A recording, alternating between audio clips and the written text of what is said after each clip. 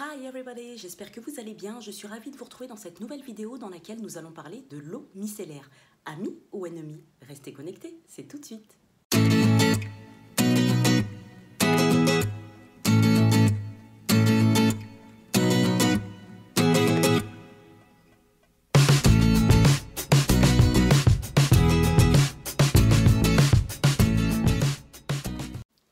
L'eau micellaire fait maintenant partie intégrante de notre routine teint, mais il est parfois question de picotement au niveau des yeux, de tiraillement et même de plaques de sécheresse.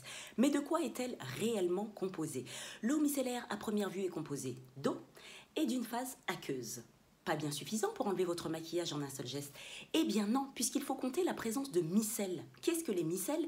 Ce sont des petites particules qui vont retenir les impuretés, ce qui va donc permettre d'enlever votre maquillage en un temps record. Il faut savoir que les micelles sont des tensioactifs, autrement dit des détergents, que vous retrouvez dans de nombreux produits ménagers, par exemple la lessive ou le savon de vaisselle. Voilà. Mais je ne vais pas m'arrêter là.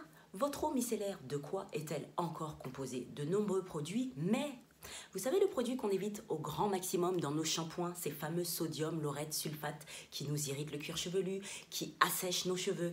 Eh bien oui, un grand nombre d'eau micellaires contiennent des SLS.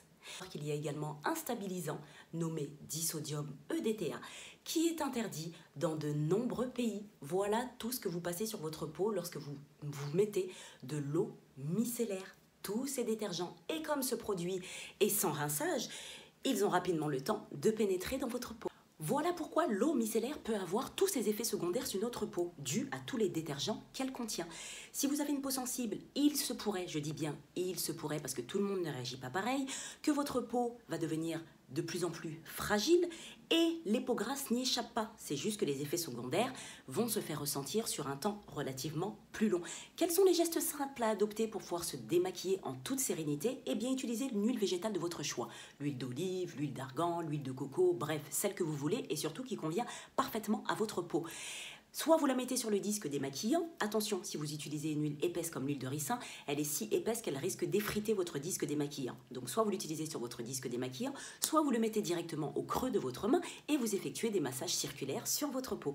Vous rincez et si vous avez une peau sèche, voire déshydratée, on n'oublie pas le sérum hydratant parfaitement adapté à votre type de peau. C'est valable aussi pour les peaux grasses. Vous avez maintenant toutes les cartes en main pour bien prendre soin de votre peau. J'espère que cette vidéo vous aura aidé et vous aura plu. N'oubliez pas LPAK, likez, partagez, abonnez-vous, kiffez.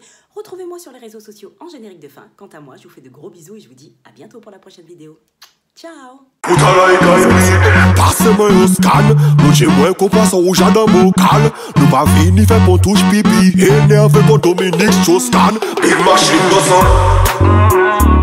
Gal dem a wine kase kon an ka chebe ou solit foto do.